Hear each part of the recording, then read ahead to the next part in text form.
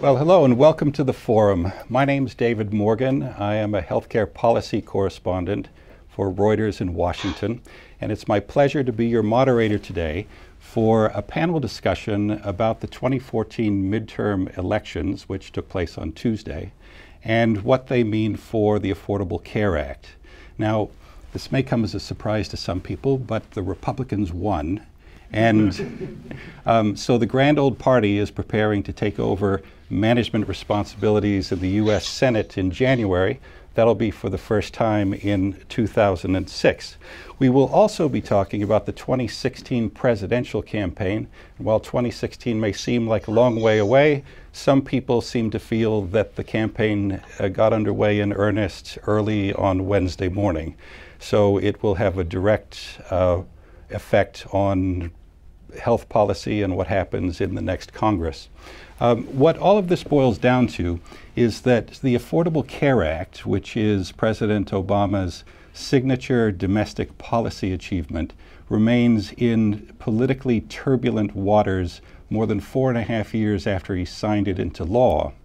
And fortunately, the Forum has assembled a panel of outstanding experts to help us navigate those waters and arrive, hopefully, at a better understanding of what it all means and where it's all going. I'll introduce the panelists in a couple of minutes. First, I wanted to say welcome to the audience here in the studio and the audience online. These events that follow elections tend to attract viewers from across the country and in far flung corners of the globe. Now, um, this presentation is a collaboration between the Forum at the Harvard School of Public Health and Reuters, hence my presence here. Reuters is live blogging this as I speak. And the way it works is that each panelist will provide opening remarks, and then we'll have a rather extended discussion about the recent elections and the upcoming presidential campaign before we throw it open to questions from the audience. Um, and if you are online and have questions you would like us to ask, the best way to get them to us is twofold. First, you can email them to the forum at hsph.harvard.edu, or you can tweet them, believe it or not, to at forum hsph with the hashtag um, 2014 elections ACA. And with that, we'll get to introductions. To my right is Robert Blendon, professor of health policy and political analysis at the Harvard School of Public Health. Bob is a leading expert on health policy, politics, and public opinion. To his right is David Cutler, professor of economics at Harvard University. David has played an important role in crafting healthcare policy here in Massachusetts and served as an advisor to the 2008 Obama campaign. To David's right is John McDonough, professor of public health practice at the Harvard School of Public Health and director of the school's Center for Public Health Leadership. John was senior advisor on national health care reform for the U.S. Senate Committee on Health Education, Labor, and Pensions back when the Affordable Care Act was being written and enacted. And coming to us via video link is Sheila Burke, who is adjunct lecturer in public policy at Harvard's Kennedy School, where she was also executive dean. Um, she has uh, served as deputy secretary of the Smithsonian, and like others on the panel, she's an actual survivor of the political wilderness. Sheila was chief of staff for Senate Majority Leader Bob Dole and was deputy staff director for the Senate Finance Committee uh, at an earlier time when the Senate was also under Republican control. Now, before we begin our discussion, we want to give everybody a taste of the rhetoric that has been flying around the country for several months. We've got four actual campaign ads. Two of them are if you listen to my language, pro ACA, and two of them are anti Obamacare. And so, with that, let's roll the videos and then we'll begin the discussion. As a doctor, I see how Obamacare hurts patients' access to care. As a mom, I know it hurts families. My son has diabetes, and our insurance was canceled under Obamacare. Like many, we now pay more for less coverage. Mitch McConnell is working for common sense healthcare reforms. That starts with repealing Obamacare. And Mitch is leading the fight because he cares about patients and families like mine. I'm Mitch McConnell, and I approve this message. Are you one of the 335,000 Coloradans? That's how many people's plans were canceled because of Obamacare. Can you really afford to pay thousands of dollars more? Your health plan canceled. All because Mark Udall said yes to Obamacare. Now Udall says he'd do it to us again. I would do it again, yes. I would do it again, yes. Call Mark Udall, tell him to speak for us, and stop supporting Obamacare. When Mark was diagnosed with cancer, we thought we might lose him. My family and my faith helped me through the rough times. But you know what? Mark's insurance company didn't want to pay for the treatment that ultimately saved his life. No one should be fighting an insurance company while you're fighting for your life. That's why I helped pass a law that prevents insurance companies from canceling your policy if you get sick or deny coverage for pre existing conditions. I'm Mark Pryor, and I approve this message. I was born and raised in Alaska. I'm a mother, a runner, and a breast cancer survivor. I was lucky. I beat cancer. But the insurance companies still denied me health insurance just because of a pre existing condition. I now have health insurance again because of Mark Begich, Because he fought the insurance companies so that we no longer have to. Put Alaska First is responsible for the content of this advertising. So that was some of the heavy artillery from the campaign trail. And uh, now the war is over. The Republicans have won. So, Professor, what happens now? Uh, hi, uh, Bob Blendon. Uh, I have a history of thinking elections matter. And so, in this case, uh, it's not a mandate for anything. What it's going to matter is the environment it creates. The environment is going to have two effects. It's going to encourage Republicans, they will not be able to repeal this bill, but to scale it back for the future very significantly. Uh, secondly, at least 20 states will not go ahead uh, with a Medicaid. Uh, expansion, so they particularly see what the Congress does. But let me explain how this happens. Uh, so, first, it has to do with the views of candidates. So, this is what we now know. A Brookings study looked at the uh, ads uh, for all the primary runners who were Republican for the House. 73% of them said, if you vote for me, I will repeal this bill. None said, I will improve it. Uh, now we know that there are 10 new Republican senators who are coming. We analyzed their stance. Every one of them said, I will repeal this bill if I'm elected. Uh, for this. So it's very hard to see how uh, they will move back.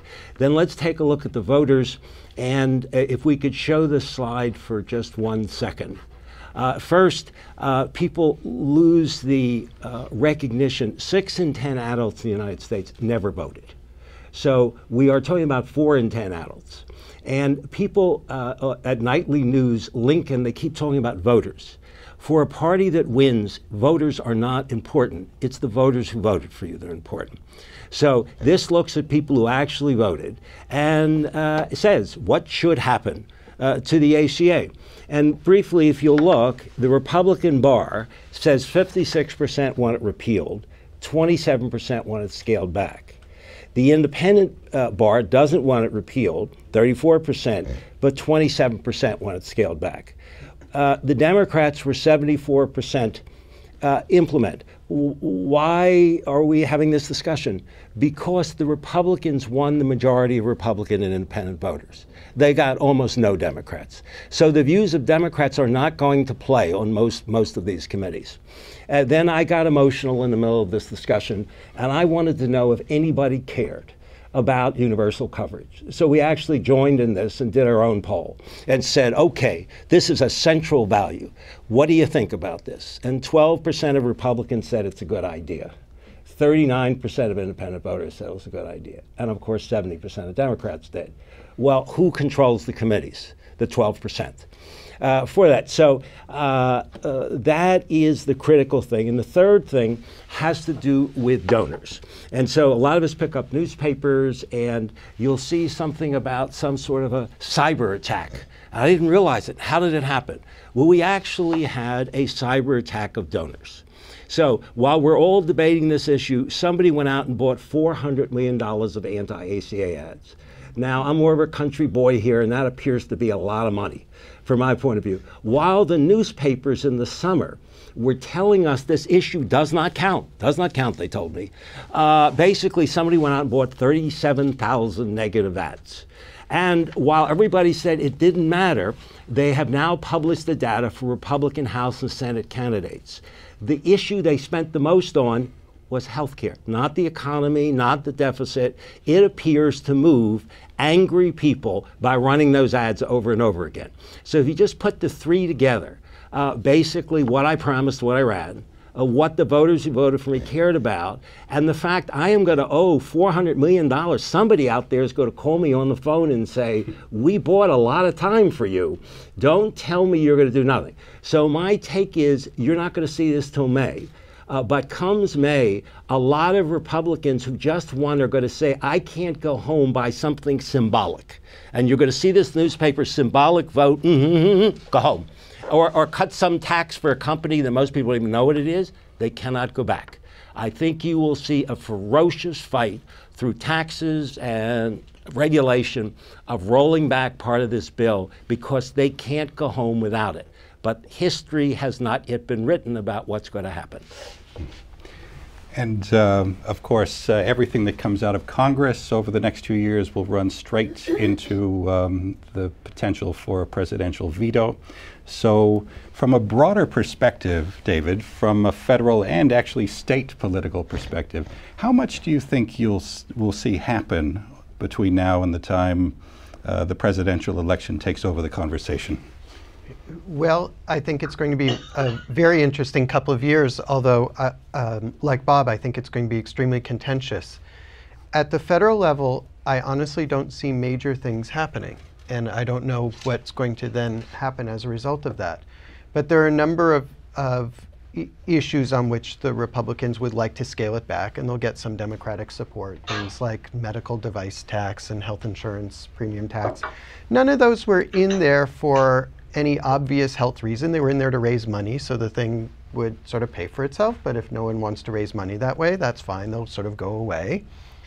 The more contentious issues would be the employer mandate and the individual mandate. The employer mandate, you're actually not going to find an enormous Democratic groundswell to keep it, so it may be that that disappears. I don't think that's a huge issue for most people there's a clash coming over the individual mandate, and this is the one issue in the bill on which the president is probably on the wrong side relative to where the population is. So if I were the Republicans, that's where I would go. Every other issue, when you explain the specifics, people like the specifics of, of the ACA.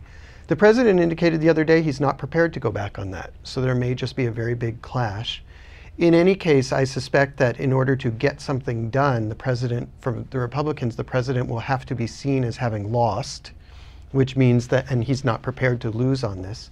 So my guess is it turns into acrimony without an enormous amount of accomplishment. I think more consequential in terms of what actually happens was the impact of the election at the state level, where you had a lot of states where if they had gone Democratic, they would have probably expanded Medicaid coverage. They went or stayed Republican, in which case they won't expand Medicaid coverage. And the groundswell of Republican antagonism was so immense that some states may go back and they may say, well, we have expanded Medicaid coverage, but given how much our people don't like it, maybe we should think about going back on that. Or we just threw out the guy who, or gal who expanded Medicaid coverage. So maybe now that there's someone new and more conservative there, that they will want to take that away.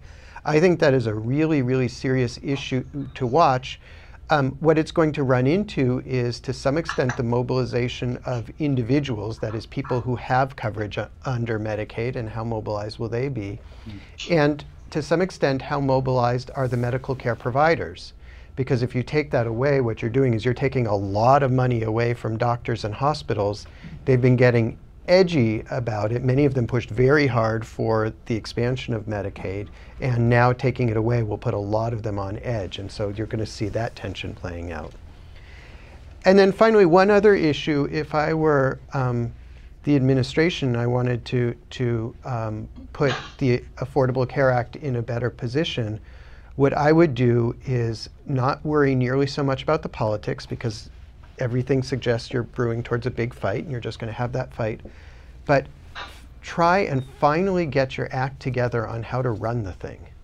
So there have been so many stumbles, ranging from the people who lost their insurance policies to the website that didn't go down, that, that didn't work and went down, and actually continue it through the VA scandal and through Ebola. And what you get is a picture of administration implementation on health that's just abysmal and that feeds into a perception that this is too big and too unworkable because they can't get anything right. And so if they want to change the dynamic for those people who want to fix the ACA, what they have to prove is that they can actually get something done. And if they put their heads to the grindstone and figure out how to do that, then then that's the way that they'll that they'll change perception more than just fighting last year's battle back and forth. Hmm. And of course, the great Republican strength is that they'll be coming into this majority with a, a, a cohesive force uh, united behind a single plan for addressing Obamacare. Is that right, Professor? Not so much.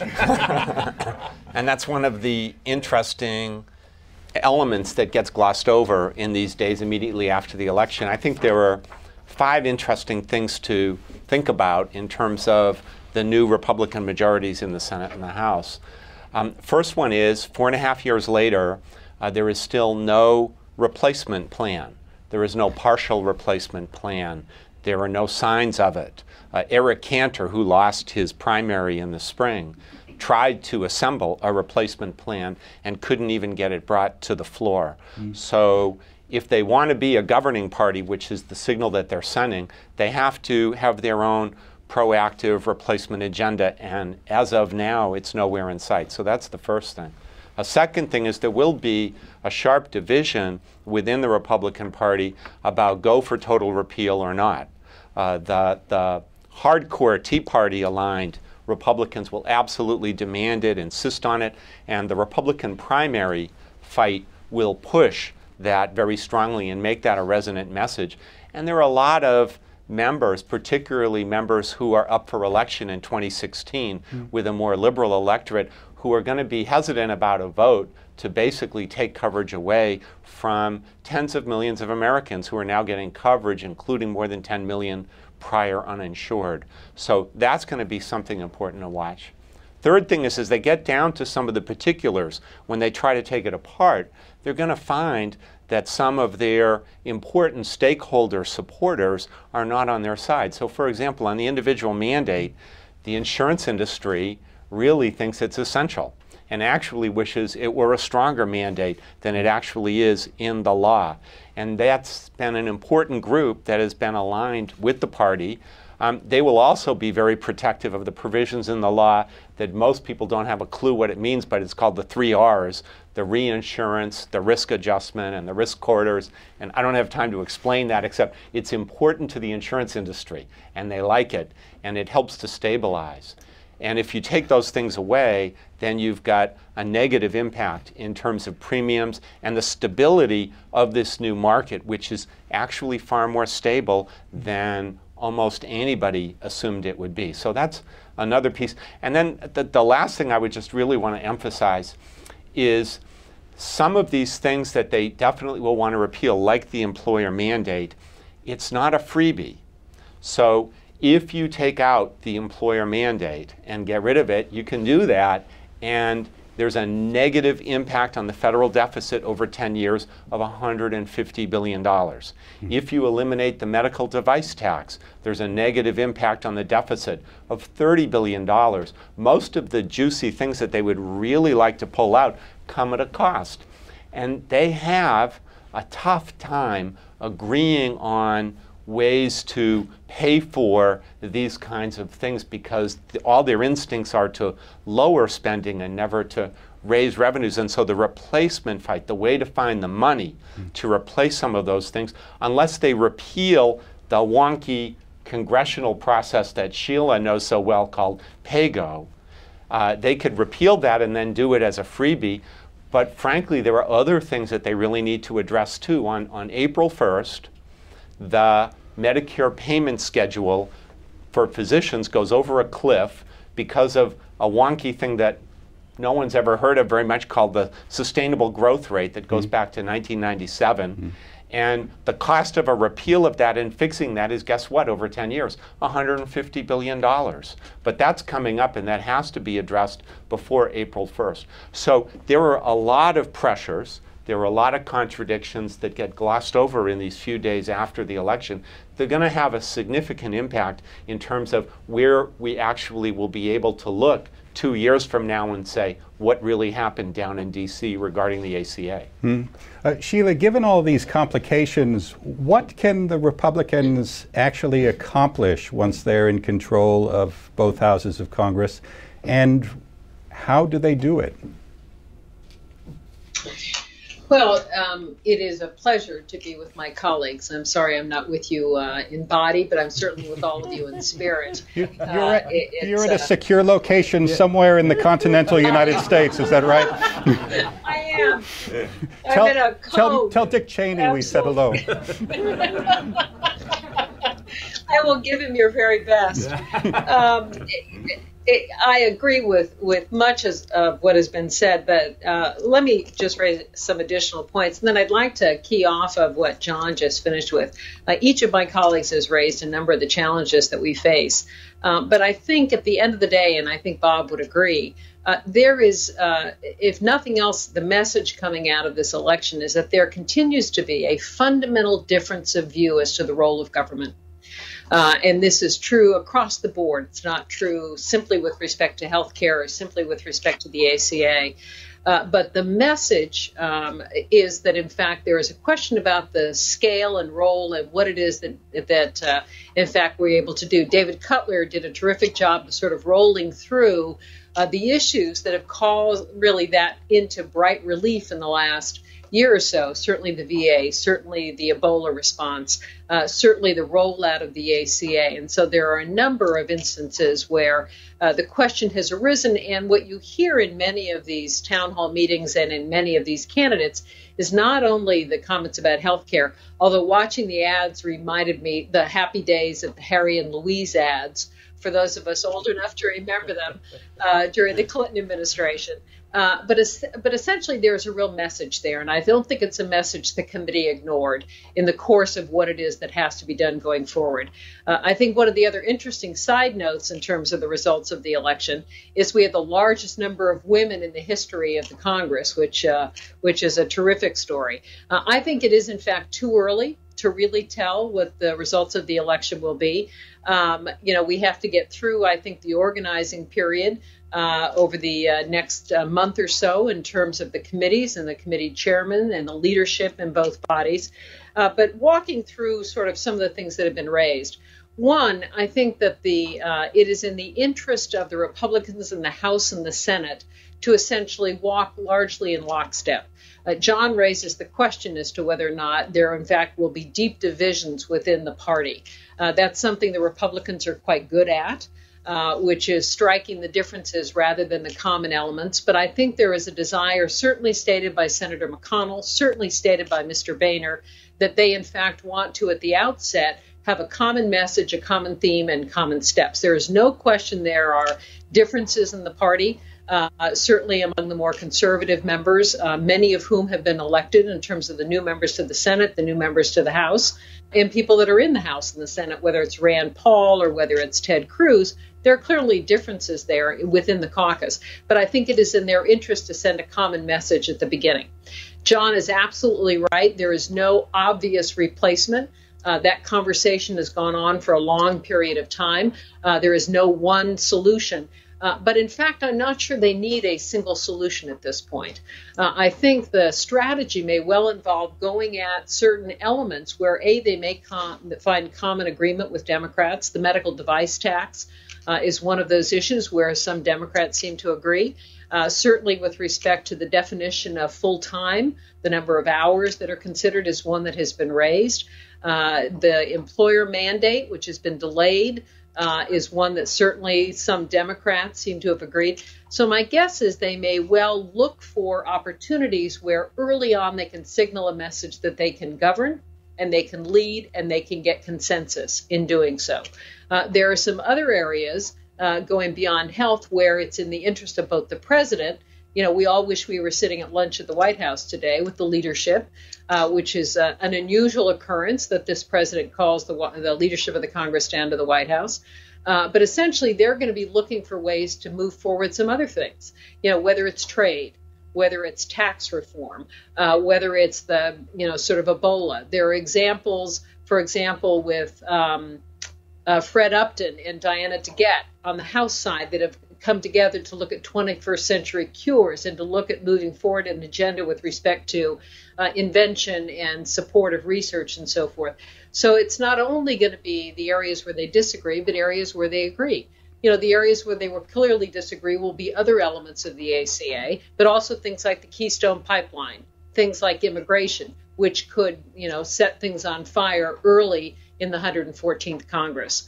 Uh, but to John's next point, in terms of um, taking it apart causes some risk, doing things like the repeal of the medical device tax, which costs, or repeal of uh, the individual mandate, which costs, which could be an issue. Uh, but there are other opportunities. The subsidies, for example, where they could recover money by reducing the subsidies or the extent to which they are provided up the income scale. Uh, there are changes with respect to Medicaid. There are Medicaid matching rates. Uh, so there are opportunities where they could look at pieces of the legislation, not simply the full reform. Although I think you will see votes to repeal. They've made that commitment, and I think Senator McConnell, while acknowledging it's unlikely to be successful, certainly the president would veto. They don't have sufficient votes to override a veto, but certainly they will vote on that. But then they will start going after pieces. And again, as suggested, some of those pieces really undermine the basic structure of the bill. Many of the insurance reforms uh, could well essentially attack that. Certainly, the individual mandate, which the insurers feel very strongly about. But I have to continue to remind myself that some of those elements were once supported by Republicans for years. The insurance reforms, whether it's the pre X or rescission all those things were in fact supported by the Republicans in years past. The subsidy to individuals to purchase private coverage was supported by Republicans and proposed by my old boss, Senator Dole, Senator Domenici, Senator Danforth, some years ago. The idea of buying into an individual private market rather than creating a new sort of public entitlement program. So, again, I think there will be tensions within the party. Uh, but again, I think the first thing they have to do is prove they can govern prove they can lead. They will hopefully look for opportunities where they can partner with, with Democrats, but they're also really pushed to try and identify those issues that have been issues in the past and where they essentially were successful in the election. Well, thank you very much. At, at, this point, we'd like to pause for a moment from our discussion about politics and Congress and the Oval Office to hear from an, to, to hear from an actual human being. um, what you're about to see comes from a group called Families USA, which is a healthcare consumer advocacy group based in Washington, and they are an active supporter of the Affordable Care Act.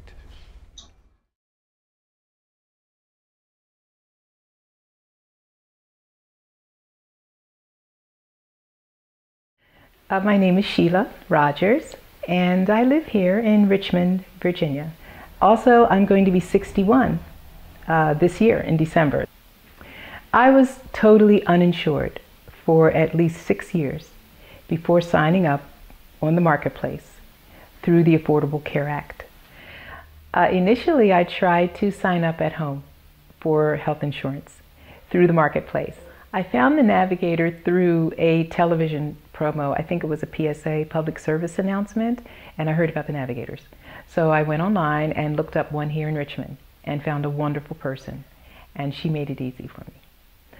I have the senior silver plan for health insurance. I have a very small monthly premium, and it's also subsidized.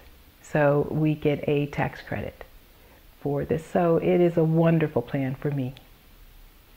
One of the best things about having this health insurance is that I can afford more medicine now that helps me cope with this degenerative uh, problem in my neck, which I've had for over 20 years. And uh, I've been able to get additional medication now, all because of health insurance. I wouldn't have been able to afford it before. I would tell anyone to please get health insurance. It's much easier to prevent something and to maintain your health than to get into trouble and really need it. So, is it really in the Republican interest to take away benefits from someone like her if they intend to capture the White House in 2016, or is Obamacare, quote unquote, um, better kept alive as a campaign issue? Uh, so we miss the fact that there are 30 some million people who are still not covered. Uh, I don't think, uh, and please, I am not speaking for the Republican Party. It just happens they won. And so, uh, for that, so it's not their interest to go get the cards back. It is in their interest to not necessarily have another 20 million people uh, covered. And the law of politics is if I didn't get it, I don't miss it. And so I don't think they're going to go be running around Medicaid, taking it out of states, but I think they're going to allow states not to expand. I think they're going to reduce the subsidies, and some people, instead of paying $20 a month, they're going to pay 50 uh, so it's not in their interests, but as Sheila said, this division over government is really incredibly powerful in this country. And it, it, really is affecting the future of this country. The ACA is caught in the middle about whether or not we want the federal government uh, to do. And uh, back to my uh, colleagues here, just, just quick point. Uh, everybody studies under another president. The people who just won studied under President Reagan, whose view was cut the taxes and watch what happens afterwards. And lots of programs got cut under the Reagan years because the CBO kept saying it's going up, it's going up, below the deficit, it's going up, it's going up. And I think that's where it is. But deep in the heart of the people who are just surveyed, they don't want the bill of this scale to go, go into effect. And so when we get to 2016, there is going to have to be a big healthcare issue, and we're going to discuss that in a moment.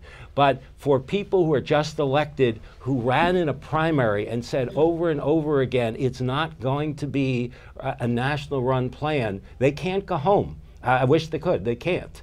And tell them that all they did was uh, change a medical device tax. I know if you're in the industry, that's awfully exciting to you. Uh, but it's not what people were at the Iowa caucus about. So they have to make a change for them to be able to go back home and say, uh, I honored the pledge that I ran on, and I won dramatically more than all the projections said. And that is what difficult is for people to understand is they won by margins, one after another larger, by telling you they're going to repeal this bill. Uh, so uh, they are going to feel a wind for something to happen. Please, I'm not endorsing uh, that party, but it's very hard to look at the answers to voters and then say no. They're really they didn't mean it. They did mean it. So did the Democrats lose this time because of the Affordable Care uh, Act? no, the. Um, uh, uh, where it's very uh, difficult. Let me make it simple to you. Basically, by the time in these swing states it came, to vote, president's approval rating was 35%. They just, the whole people just don't feel the president's taking this country in the right direction. And you know, that's why the name Obamacare is so important. The ad goes, wrong direction country, Obamacare. Economy not doing well, Obamacare. And so they just felt this was one way of saying to this president, you're taking the country in the wrong way. It was only one issue. But what everybody missed is if I really dislike the government, really hate it, seeing an Obamacare ad is like a red flag. They came out and they voted.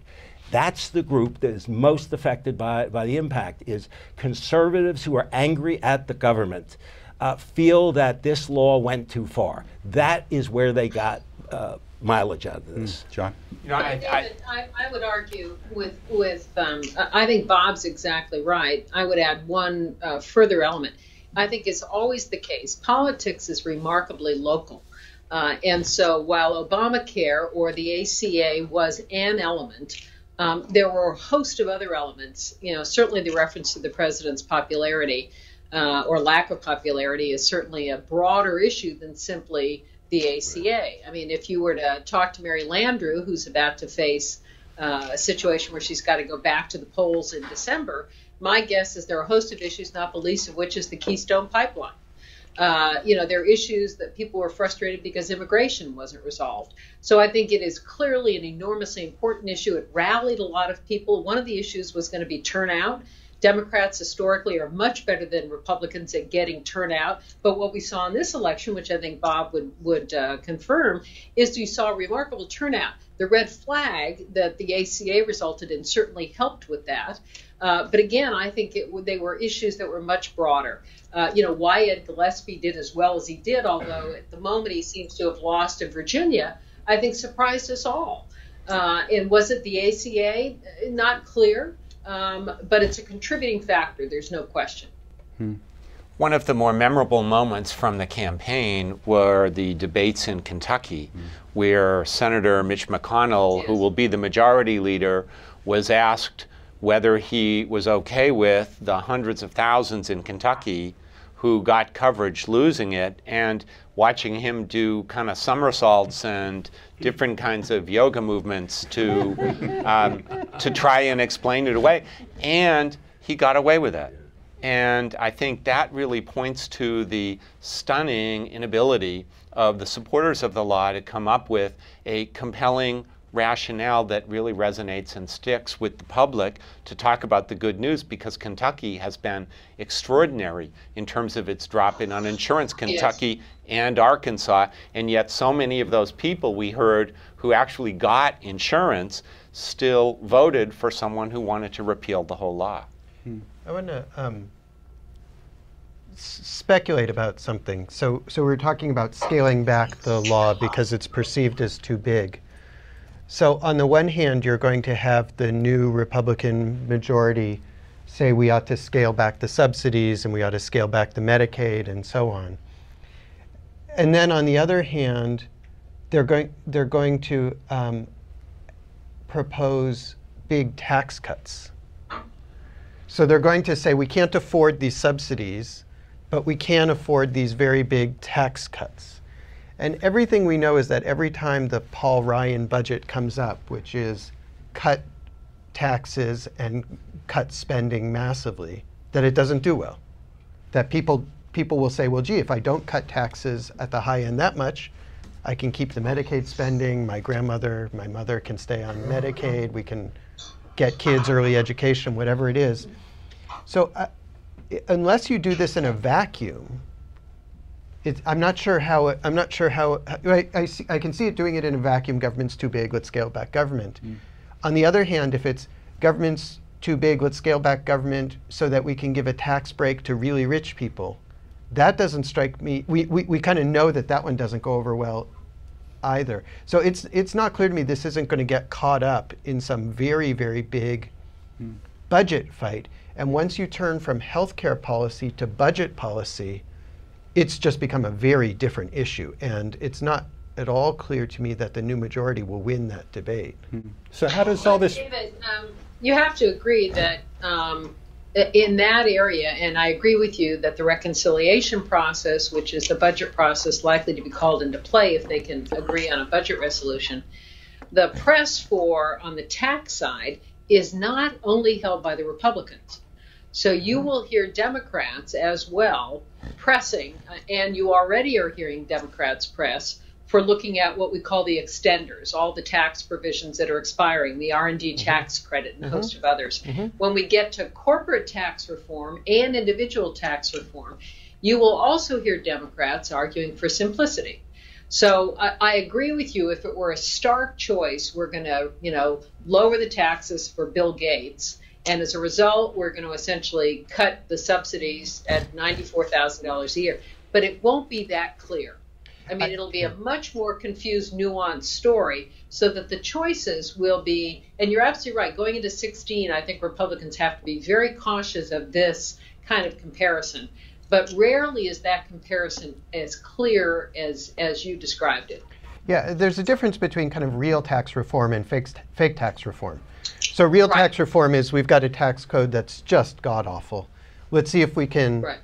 make it work better, collect the same amount of revenue, make it fairer, more more efficient, and so on. Right, and redistribute. And then right. exactly, and then there's sort of tax reform, which is basically we're taxing high-income people too much, and we ought to tax them less. Right. And that latter one Right. is really the category where you get yourself in trouble. Actually, there's no economist who's not in favor of making the tax code work better, and there's no economist who doesn't have a list of 25 things that Right, they, that they could that they could think of to be on that list.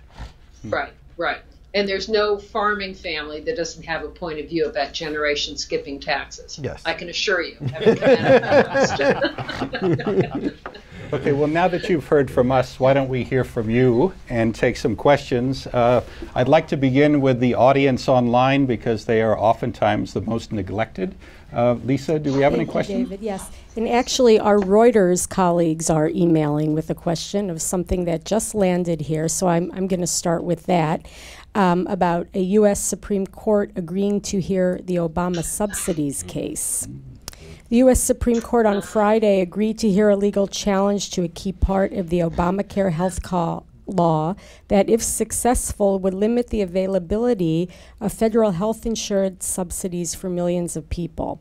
In a one sentence order, the court said it would decide a case brought by conservative challengers to the law. The plaintiffs appealed a July ruling by the Fourth U.S. Circuit Court of Appeals that upheld the subsidies. The nine justices will issue a ruling by the end of June.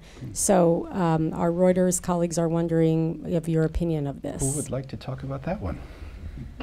So it is an important matter that it's surprising that they were failing to wait to hear from the court in the District of Columbia, mm-hmm. which has also scheduled a hearing, and that they are jumping the queue before they hear it. It's not unprecedented, but they had a very easy way out. So it suggests at least that the four justices who voted in June 2012 to repeal the entire law are at least there. I think the question is were there more than four? And I think that would be one of the critical indicators in terms of going forward. Um, if, if the, if the, um, if the, provi- if the lawsuit were upheld, um, then uh, it would either require Congress to come in and change the law, which is highly unlikely. At the same time, um, there are things that states could do to designate the Federal Exchange as the state exchange, either by executive order or state legislation, that could do it. And it will be a very telling moment for both Congress and for state governments. Do they really want to see tens of thousands, hundreds of thousands, in some cases millions of citizens lose their subsidies that enable them to keep health insurance? And it would certainly make it much more of a compelling issue for 2016. David, you might take two minutes to explain to the audience who don't follow these issues very closely uh, the nature of the debate, which is whether or not people essentially in exchanges that are run by the federal government, there are 36, I believe, uh, who are run by the federal government as compared to those who have chosen to run them by the state. Kentucky's an example where they, for example, have a state exchange. And the issue is over the language in the statute that essentially references subsidies through state exchanges.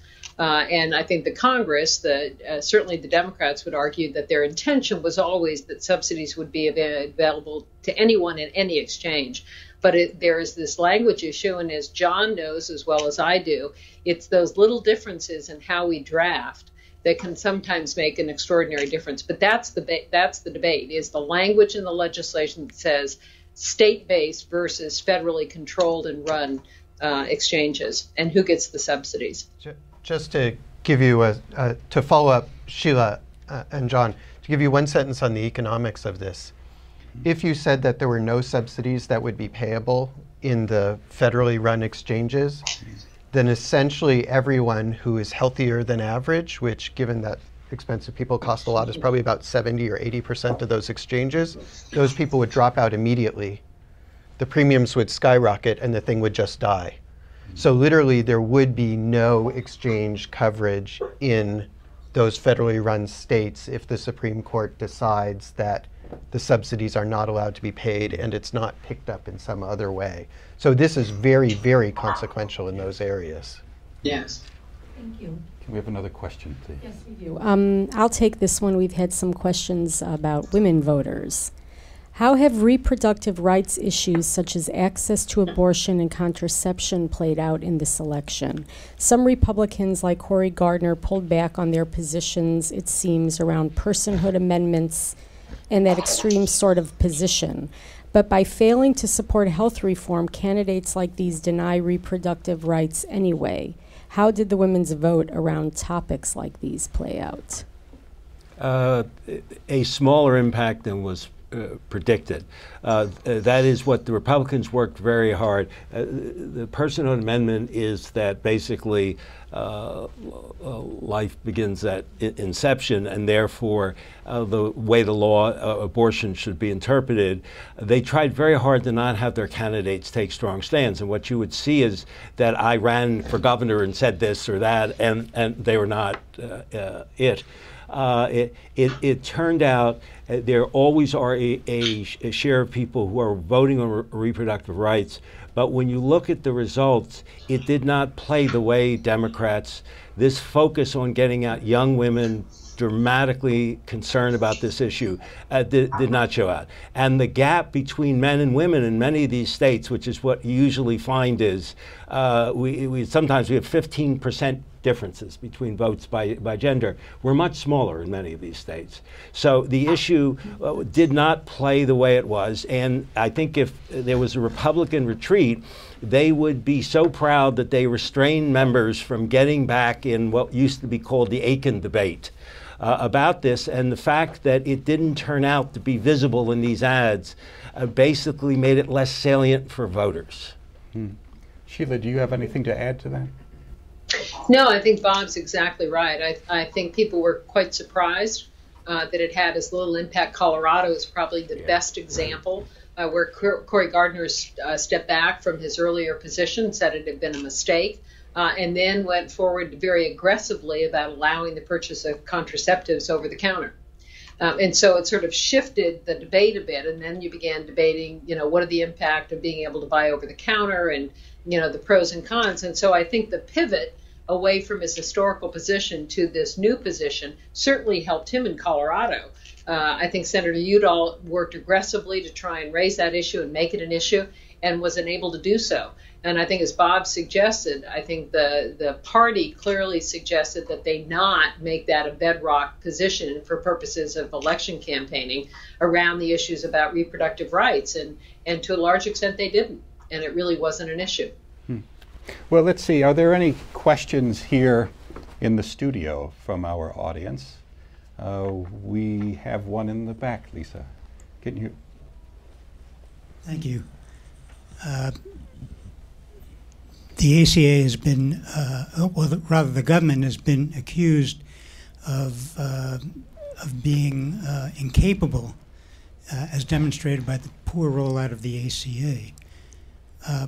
However, the background to the bill was a House bill which allotted five billion for rollout, a Senate bill which allotted ten billion for rollout, a reconciliation that reduced this to a billion, half of which which was taken away in the various negotiations over the uh, stoppage of the government by the Republicans. So, given that by fiat, this was woefully underfunded. How can one honestly say that this is a demonstration of incapable government? Incapable legislation, maybe, but certainly not incapable government. Mm. Comments? Well, I, th- I think it's a good example of it's not where you start, it's where you finish. So the rollout in the fall, 12 months ago, was a calamity, a catastrophe, a disaster, pick your apocalyptic term. And they were able to correct it by mid December so that it was able to move forward. Uh, the CBO estimate was 7 million would sign up through the exchanges. It ended up around 8 million more in Medicaid, Uh, the uh, estimate now is more than 10 million formerly uninsured got coverage through this period. The New York Times says the uninsured rate has gone down by 25%. So I guess while I certainly wish the rollout had been better, I'd much rather be a winner at the end rather than have a great launch at the start and have mediocre results. The results exceeded expectations, and unfortunately, again, it, it gets to the inability of the supporters of the ACA to create that compelling narrative. The the, mm. the iconic moment for me in the past year was when Jimmy Kimmel's show went out on the street and asked 10 random voters, do you prefer the Affordable Care Act or do you prefer Obamacare? And nine out of 10 said, I like the Affordable Care Act and I hate Obamacare. it was only the African American guy who liked Obamacare and not the Affordable Care Act. And, but I think that exemplifies the incredible mystification of the American public about this law. Mm. Uh, uh, I would add. I, I would add one additional point. Uh, I think John's right. I mean, a number of the problems were were corrected, and in fact, people were able to enroll. But I think the final story hasn't yet been told. Uh, one, I think it'll be interesting to see what the impact is in the spring in terms of the IRS mm-hmm. and people receiving notices that either they got subsidies that they shouldn't have gotten or uh, you know, sort of pulling them back. I think there have been issues around um, your citizenship status and people getting notices because they weren't able to determine citizenship. Um, so I think, again, I think John's right. There has been progress, and they did a much better job in the latter part of the year. Uh, but I think it wasn't just the process of rollout and informing people, it was all the technology and the failure of the systems that essentially brought uh, people a lot of concern. The interface with the states, uh, was an issue. But I think, again, I don't think the story is fully known. And I think that will begin to roll out as we see the enrollment process begin this fall, which people say will be far smoother. But again, we're going to wait and see what happens in the spring when people start getting those notices that say you shouldn't have gotten a subsidy and now you're getting a tax bill or you didn't buy coverage and now you're getting taxed. Uh, uh two quickie. Uh, one is uh, when you're in government and they cut your budget in half, uh, you're a good sport and say you can do it without it.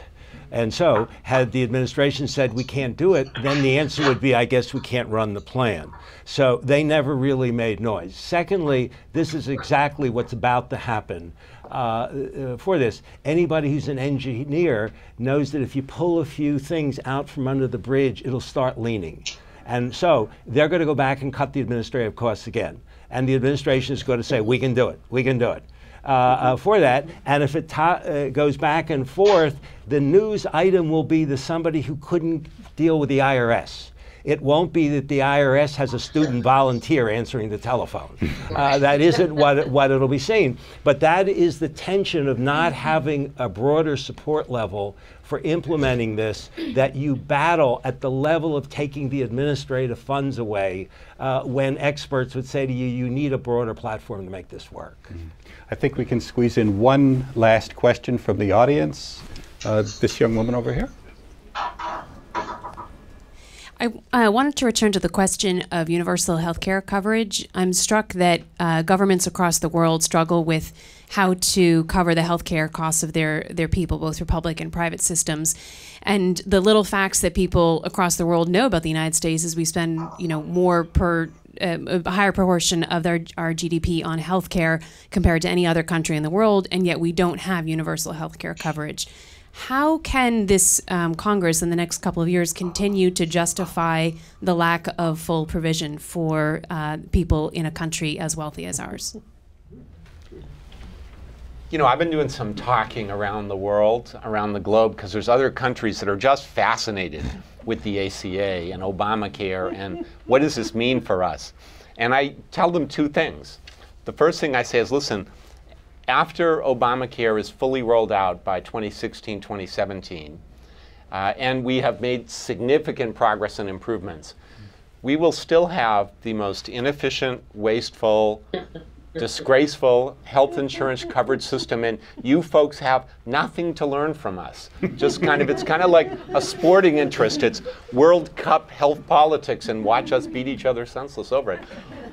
On the on the delivery system side on reforming the delivery of medical care services and making it more efficient and effective and higher quality, we're doing some really exciting things, and we've seen dramatic changes as David has documented very well, in the rate of growth of medical care spending in the United States over the past five years.